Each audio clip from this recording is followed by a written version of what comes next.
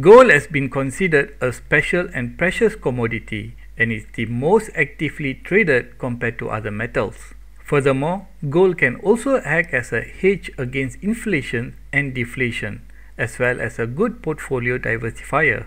Due to its durability, malleability, and conductivity, it is in high demand for everything from jewelry to industrial applications, making it a popular trading instrument. Due to gold's high demand globally, gold price fluctuation could have a significant impact on the global economy. There are few factors that impact the price of gold. First, the interest rate.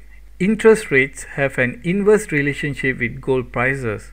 Gold prices rise when interest rate drop because investors don't get good returns on their deposits.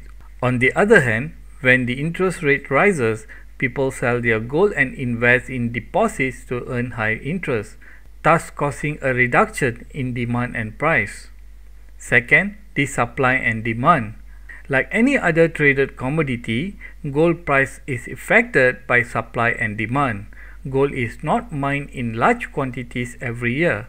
The price of gold will increase if there is a shortage of supply.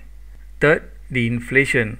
When the inflation is high or rising, gold prices tend to rise.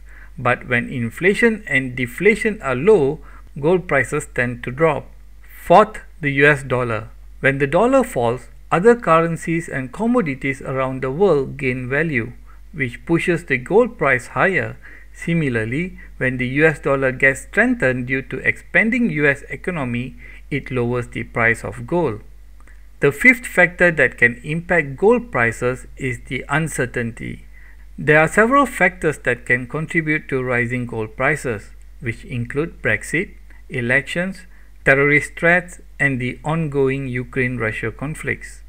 Gold is a reliable safe haven as well as potential profit source for traders if they are able to effectively analyze gold's price movements and develop a trading strategy to capture the opportunity.